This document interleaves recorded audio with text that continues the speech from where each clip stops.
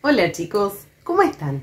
Hoy nos volvemos a encontrar porque lo prometido es deuda. La última vez les dijimos que les íbamos a contar qué pasó con la huida de nuestro personaje. Y hoy vamos a continuar con la historia, con la historia de Jonás, el profeta de Dios. Dios le había dado la orden a Jonás de llevarle un mensaje a todas las personas que vivían en Nínive.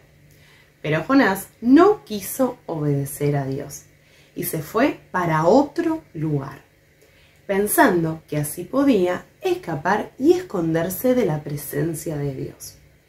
Así fue que inmediatamente se tomó un barco que iba para Tarsis, es decir, el lugar opuesto a Nínive. Y hasta acá habíamos llegado. Seguramente Jonás pensó que con la actitud y la decisión que había tomado ya estaba todo solucionado que ahora disfrutaría de un hermoso viaje, observando y escuchando el ruido del mar y descansando de toda responsabilidad. Pero ni se imaginan lo que va a suceder. La Biblia nos cuenta que cuando ya estaban en alta mar, es decir, bien adentro del mar, Dios envió un viento muy, pero muy fuerte, que pronto se convirtió en una terrible tempestad. Imagínense lo que debe haber sido ese momento. Seguramente a ninguno de nosotros nos gustaría vivir una experiencia así, porque debe haber sido aterrador. Hasta los marineros que conocen del mar y están acostumbrados a navegar, estaban temblando de miedo. Y sí, no era para menos. Así que cada uno de ellos empezó a pedir ayuda a su Dios que obviamente no los escuchaban porque eran dioses falsos, pero ellos ya no sabían más qué hacer. Entonces, desesperados porque el barco se iba a hundir, empezaron a tirar toda la carga que llevaban. Pero, mientras tanto, ¿qué estaba haciendo Jonás? Aunque ustedes no lo crean, Jonás estaba durmiendo en la parte baja del barco. Entonces el capitán se acercó a Jonás y lo despertó para que pidiera ayuda a su Dios, el Dios verdadero. Los marineros comenzaron a pensar que capaz alguno de los pasajeros era el culpable de la terrible situación. Y sí, tenían razón.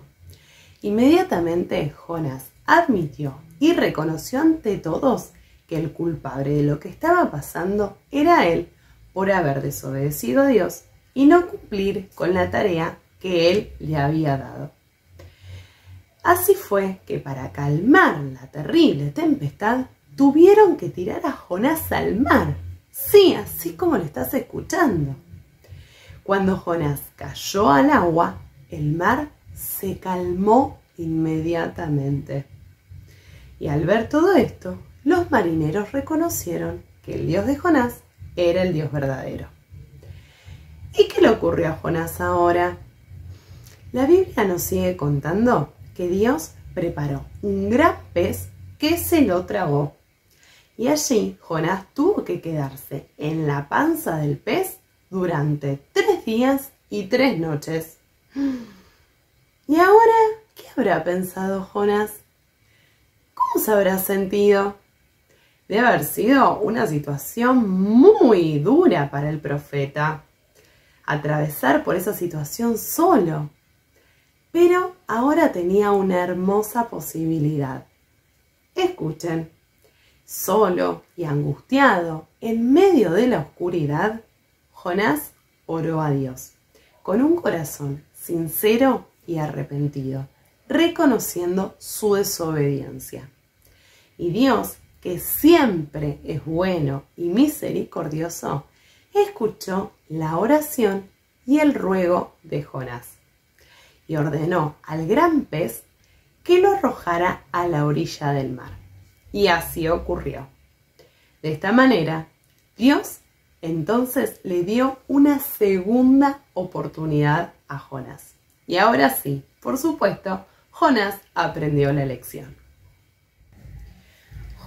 Se dio cuenta que se había equivocado al desobedecer a Dios, pero lo reconoció, se arrepintió y pidió perdón.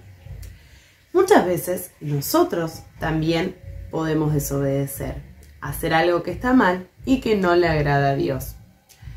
Y a veces es difícil reconocerlo.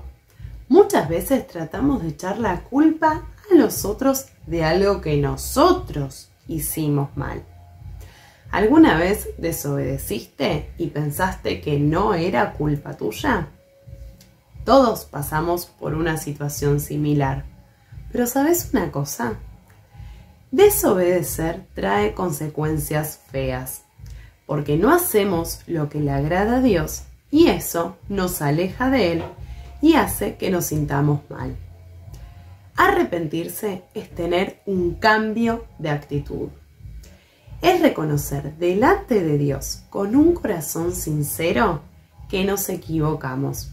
Y cuando eso ocurre, Dios nos perdona y nos da otra oportunidad como lo hizo con Jonás. Él sabe que cometemos errores, nos conoce perfectamente y también sabe todo lo que pasa por nuestros corazones. Lo único que nos pide es que podamos reconocer nuestros errores, nos arrepintamos, tratando que todo eso que nos hace mal a nosotros y a las personas que nos rodean no vuelva a ocurrir. Pidamos siempre la ayuda de Dios para cambiar todas esas actitudes que nos hacen mal. Acordate lo que la Biblia nos enseña en 1 Juan 1.9.